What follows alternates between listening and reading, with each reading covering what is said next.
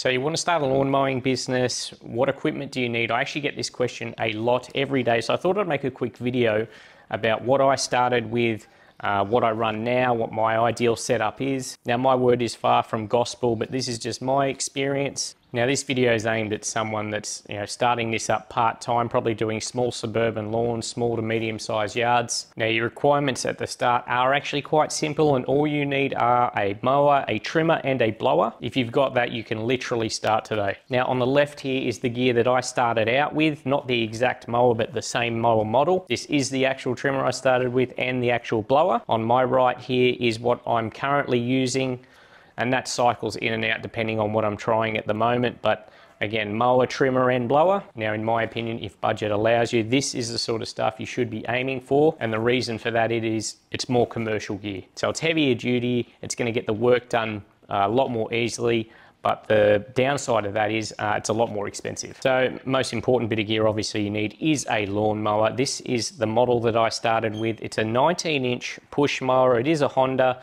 starts easily, parts are readily available for it. That's a very important thing in my opinion. If something goes wrong with it, you want to be able to get it fixed. Now this is a great little mower. Definitely gets the job done. I didn't even look at self-propelleds at the start because I thought I'm young, I'm fit, I don't need that. But the problem is when you are starting out, you're probably going to be getting some really ordinary lawns, probably lawns that are quite spongy, lawns that don't get done often because you're taking a lot of work, pretty much whatever you can get at the start and that's where you'll start to struggle with these sorts of mowers. It's going to be harder on you, it's going to be harder on your body, harder on the mower. Again, you'll get through it, it's just going to take you longer, you're not going to be as efficient. Now these mowers I think are somewhere between about 850 and 900 Australian dollars.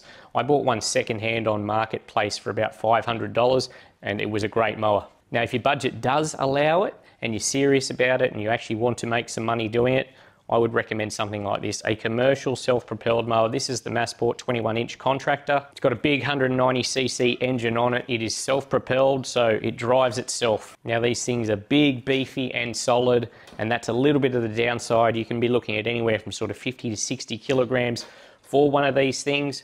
Obviously while you're mowing, it's pulling itself along, so that's not the issue but loading it on and off your, your ute or your truck or whatever it is and just getting it around can be a little bit more difficult than say a 30 or 35 kilo mower. You are going to be a lot more efficient with a machine like this than something like that. That's going to come at a price though.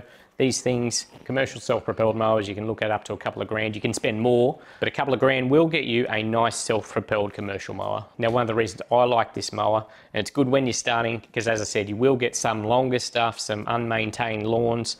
Uh, this one has a rear discharge facility here, so you can just take the catcher off and it throws all the grass out behind you, which allows you to get through uh, a thicker volume of grass. Then you can go around and bag it with the bag. Next thing you're gonna need is some sort of line trimmer. Again, a lot of new clients, you're probably gonna be doing some overgrown edges and that sort of thing. So this thing will probably get a workout. Again, the aim would be to get a uh, commercial probably a two-stroke unit. This is the one I started with. It's a Honda UMK 425 four-stroke. Great thing about this is it's very easy to start. Parts are widely available for this thing. Again, it will get through uh, your overgrown, unmaintained stuff, but it's gonna take you a lot longer, be harder on the machine and harder on you. This thing runs, I think, somewhere between 550 and 600 Australian dollars. I've given it an absolute beating. It is still going. And the good thing is you don't have to mix up two stroke as it is a four stroke engine. Now again, in my opinion, this is where you should be aiming a two stroke commercial line trimmer. This is the Husqvarna 525 LST. I haven't had this one long. I was running the FS94 Stihl for a while. Great unit, gave that an absolute beating. I feel the Husqvarna and Stihl units that I just mentioned are the perfect balance between weight and power. Obviously you can get more powerful units, but they're gonna be heavier. So these things end up really good for maintenance stuff, but then if stuff's a little bit more overgrown, it will still get through it. Again, that's gonna come at a price. Uh, this unit alone is about 850 Australian dollars. I think the Stihl unit is a little bit cheaper, but in my opinion, you really do notice a step up from that to that. And like I said, when you're starting, you're probably going to be doing some overgrown edges. So you really probably want something that has enough power to get through it because if you're spending all day on something, you're going to be hating your life. Now, this is a two stroke unit, so you do have to mix fuel for this, but that's not really the end of the world. Now, you'll notice both of these blowers are battery units. The only time I muck around with a petrol blower is my big, big backpack one when I've got to do big stuff, but I'm a big fan of battery blowers. As far as what to get, I had this at home. Now, this is quite a high end unit for home use.